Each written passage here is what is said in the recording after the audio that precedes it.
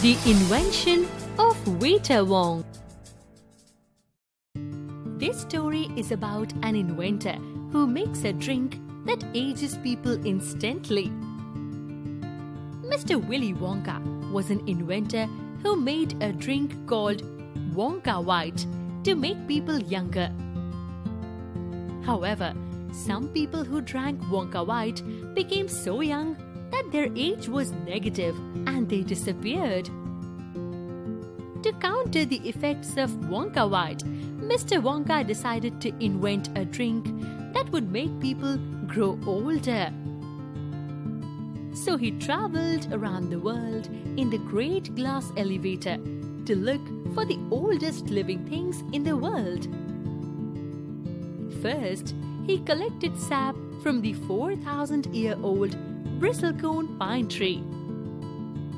Then he took a toenail clipping from a 168 year old Russian farmer called Petrovich Gregorovich. Next, he collected the egg of a 200 year old tortoise and the tail of a 51 year old horse.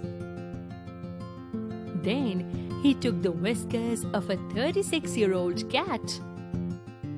He also took a flea that lived on the cat. Next came the tail of a giant 207 year old rat. And the black teeth of a 97 year old grimalkin.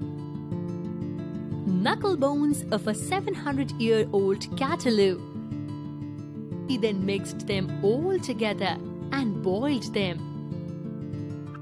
When the Vita-Wonk, an oily black liquid, was ready, Mr. Willy Wonka decided to test it on a 20 year old Oompa Loompa. When the Oompa Loompa drank Vita-Wonk, he began shrinking and his hair and teeth fell off. In an instant, the Oompa Loomp became 75 years old. Mr. Wonka's successfully invented a drink to make people grow old instantly.